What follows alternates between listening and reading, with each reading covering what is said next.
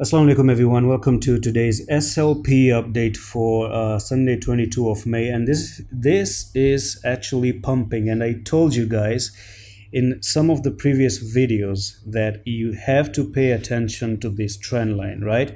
You really have to pay attention to it because by the end of the day this was almost a descending triangle. And this triangle I draw for you yesterday has made its decision. And if you look at it this way uh, I don't know if I want to play the clip from yesterday's video, but I, I already can show you that one. If you've been following the channel, this was a descending triangle that I drew. And I told you, if it tries to break to the upside, then you're looking for this one to go to the 660 or the 6, uh, 663, right?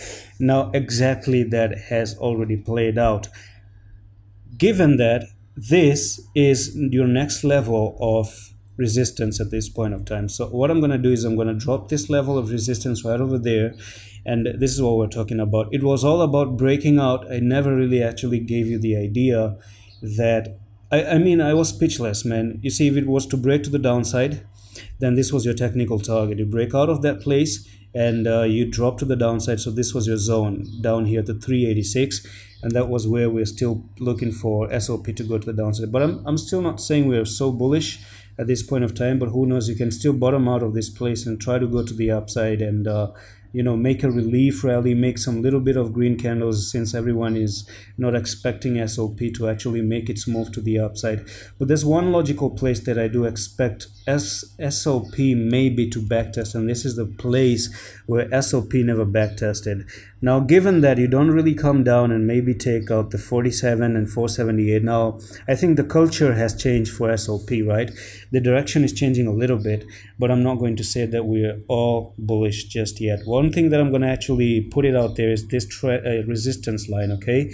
So even if the highest you will go I believe would be to this resistance point. Let's say you actually do make some moves to the upside, you don't really dump from here, then you might actually just make that relief rally go up and up and up and then touch this resistance, make a bounce from here and continue with the downtrend. Remember this one and put this in your mind because that's the first touch right over there, the second touch right over here, and yes, there's a good chance you still make that relief and go up here, find resistance there, and then boom, you go to the downside, okay?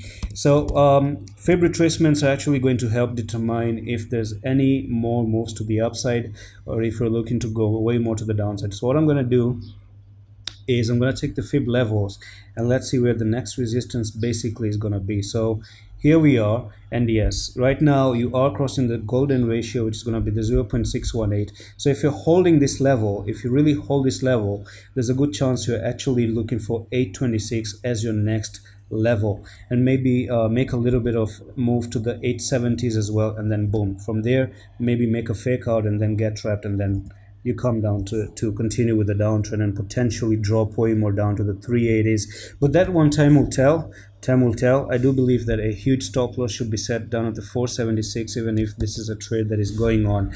And uh, that's it for this SLP update. If you guys want to learn more about trading do check out the trading course and join our discord. The link is in the description. Just click on this link and you're going to be in. And there's a long ass video course 18 hours content for you to actually learn. And uh, do check it out. I'm going to see you in the next one. Allah hafiz